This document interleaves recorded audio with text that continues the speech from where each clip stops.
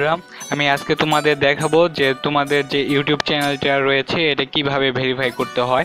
যার জন্য তোমরা সর্বপ্রথম গুগল ক্রোম ব্রাউজার ওপেন করবে। ওপেন করার পরে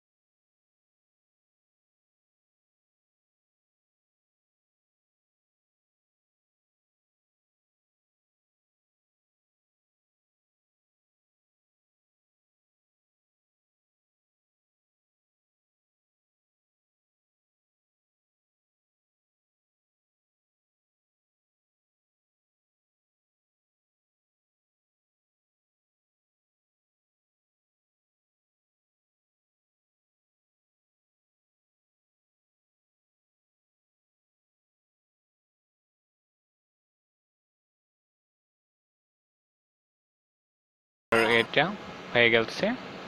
ভেরিফাই হয়ে গেছে। এবার তোমরা তোমাদের চ্যানেল ভেরিফাই করতে পারো খুবই সহজে।